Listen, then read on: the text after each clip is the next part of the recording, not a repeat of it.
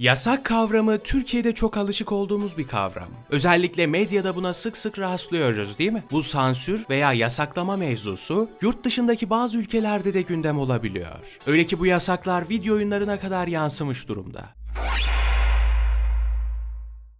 Mark Echoes Getting Up Fuck dead!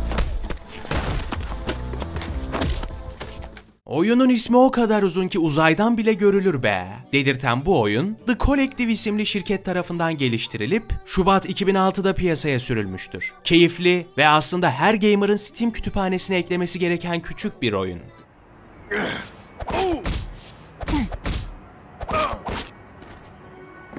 Oh, think you hard like that? Oyun amatör bir grafiti sanatçısını ele alıyor. Bu grafiti sanatçısı ise Nivredias adlı bir yerin bozuk, distopik yapısına karşı bir protesto halinde. Oyunda kimi zaman polisleri etkisiz hale getirip grafiti yapıyoruz. Kimi zaman da parklarda gördüğümüz adamlara kışkırtma yapabiliyoruz. Bu video oyunu böylesine bir yapıya sahip olduğundan Avustralya'da grafitiye özendirme sebebiyle yasaklanmıştır.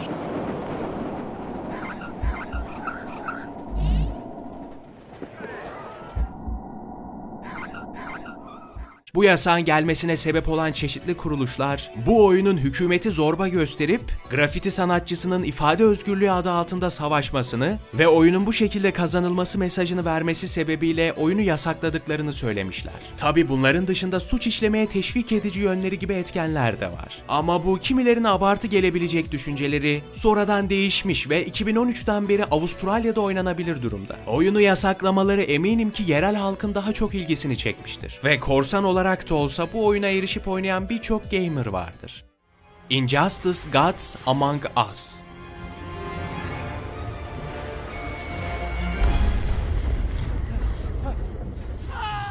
Injustice, DC Comics evrenine dayalı bir dövüş oyunu. Birçoğunuzun bildiği gibi çok popüler bir çizgi roman serisi var. Hikayede oradan uyarlama zaten. NetherRealm Studios tarafından geliştirilmiş ve hepimizin bildiği Warner Bros. tarafından da 2013 yılında yayınlanmıştır. Bir süre sonra ikinci oyunu da çıkmıştı biliyorsunuz. Oyun o iki kişilik klasik dövüş oyunları gibi. Yani bildiğimiz Street Fighter, Mortal Kombat gibi bir mantığı var. Hikayede zaten çizgi roman temelli.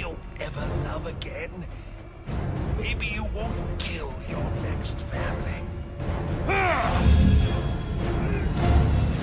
Yasaklanma sebebi oyunun isminde Gods yani Tanrılar kelimesinin geçmesi. Bundan dolayı Birleşik Arap Emirlikleri'nde ve Kuveyt'te resmi olarak yasaklanmış. Bu Gods kelimesinin oyundaki şiddet nedeniyle İslami moralleri düşürebileceği fikrine kapılmışlar. Merak ettim de Godfather'ı yasaklamışlar mıdır ha? Öyleyse oradaki sinema severler adına cidden üzüldüm. Şaka yapmayı sevsek de Avustralya'da olduğu gibi bu yasak da sonradan kaldırılmıştır. Belki de şu an onlar bizim televizyonumuzdaki büyücü ya da büyü gibi kelimelerin sansürüne üzülüyorlardır. Ya da dalga geçiyorlardır. Kim bilir? Fight of Gods.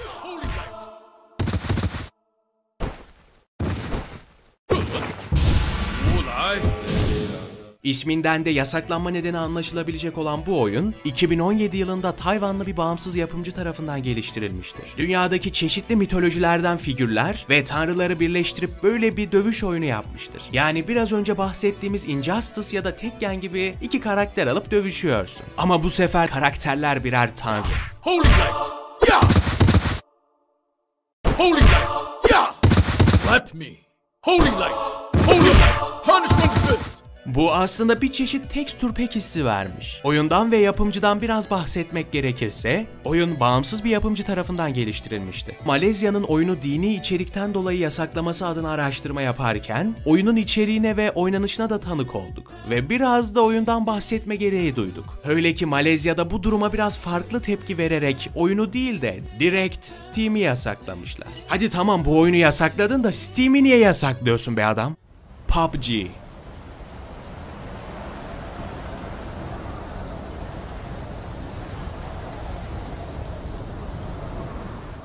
Oyunun 2017'de çıkmasından 3 ay sonra 4 milyondan fazla kopya satması, oyunun popülerliğini kanıtlayıp hemen hemen herkesin oyunu bir kere oynamış olduğunu düşünmemizi sağlıyor.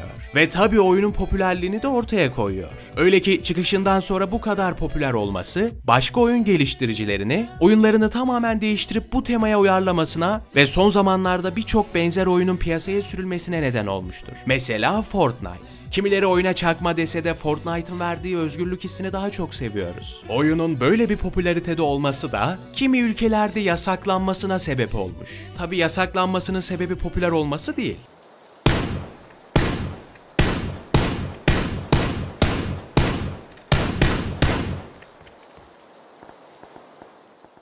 Ürdün'de, Nepal'de ve Irak'ta vatandaşlar üzerindeki olumsuz etkilerden ötürü yasaklandı. Hindistan'da birkaç devlet hükümeti oyunu bağımlılık yapan, zararlı ve dikkat dağıtıcı gerekçeleriyle yasakladı. Öyle ki birkaç öğrenci oyun oynarken yakalanmış ve sonucunda da tutuklanmış. Bunun yanında Nepal'de ise yasaklanmasından kısa bir süre sonra bu yasağın insanların özgürlüklerini kısıtladığı gerekçesiyle kaldırılmış. Tebrik ederim sonunda birisi özgürlük kavramına değindi. Oh my lord! Okay, Tüm silahlı oyunlar, right now. Holy crap!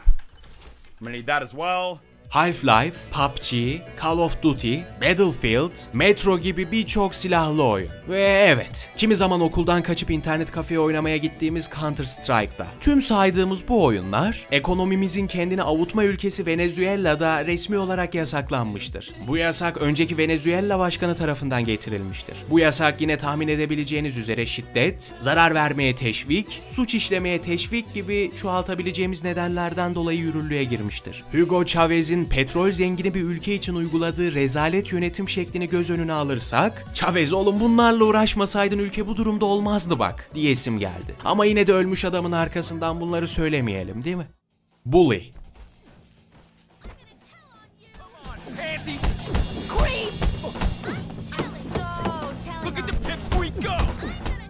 Bully, 2006 tarihinde Rockstar tarafından yayınlanan bir açık dünya aksiyon macera türünde oyundur. Oyunda Bulworld adlı bir akademide eğitim görmekte olan Jimmy Hopkins adlı bir öğrenciyi kontrol ediyoruz. Oyunda derslere girebiliyorken, aynı zamanda dışarıda şehrin sokaklarında kaykay veya bisikletle de dolaşıp başkalarına salça olabiliyoruz. Tabi tabi stres atıyoruz. Rockstar'ın kurguladığı bu dünyada gerçekten de özgür hissedebiliyoruz. Hele ki konu öğrenci olmamızsa bu olay daha da fazla artabiliyor. Oyunda kontrol ettiğimiz Jimmy Hopkins biraz arıza bir tip diyebiliriz. Yani zorba desek yanlış olmaz. Sapanla öğrencileri rahatsız edebiliyor, kimi çetelere saldırıp dayak yiyebiliyoruz. Bizlere eğlenceli gelse de kimileri şiddet içeren bir oyun olduğunu düşünüyor. Öyle ki Brezilya'da bu oyun yasaklanmış ve bu şekildeki aksiyon ve maceranın okul içinde gerçekleşmesinden dolayı bu durumun kabul edilebilir olmadığı kanısına varılmış. Brezilya'daki yasağı getiren kişinin okulda eğlenilmez, zırvasını benimsemiş biri olduğu açık. Bunun yanında Birleşik Krallık'ta bu oyunu 18 yaş üstü yapılmadığı takdirde yasaklayacağını belirtmiştir. You want some? I don't want any trouble, okay?